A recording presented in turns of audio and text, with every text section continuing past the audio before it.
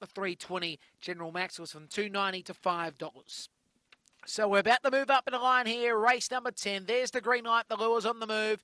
The Classens contractors take over to 400. We are ready.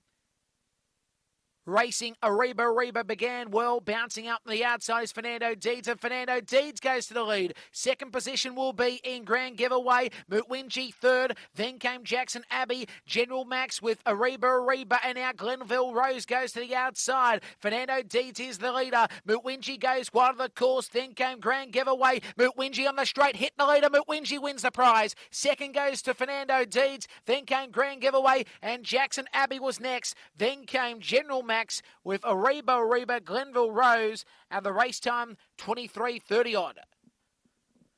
Four Blue Mutwinji first has won the prize. Four Blue first.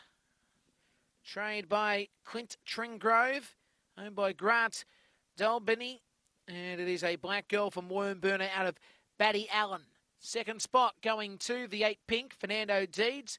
Fernando Deeds is trained by Dean Fennell, owned by Gary Anders, is a white and brindle girl from Fernando Bale out of Mapunga J. Lee.